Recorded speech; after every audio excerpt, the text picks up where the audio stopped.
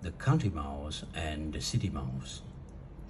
The Country Mouse and the City Mouse were good friends. One day, the Country Mouse invited the City Mouse to his place.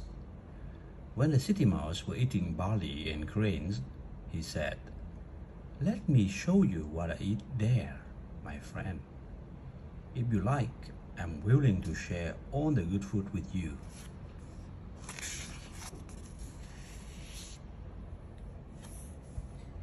Thus, the county mouse followed his friend to the city. As the county mouse saw choo-choo, cheese, honey, and millets, he started to complain about his poor life. Just before they were eating, someone opened the door.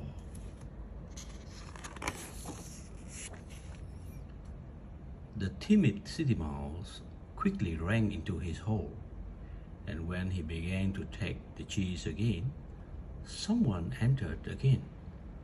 Running as fast as he could, the city mouse hid himself.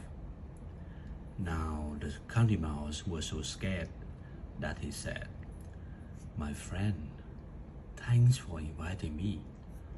I prefer to eat barley and grains safely rather than risk my life for the great food better beans and bacon in peace than cakes and ale in fear.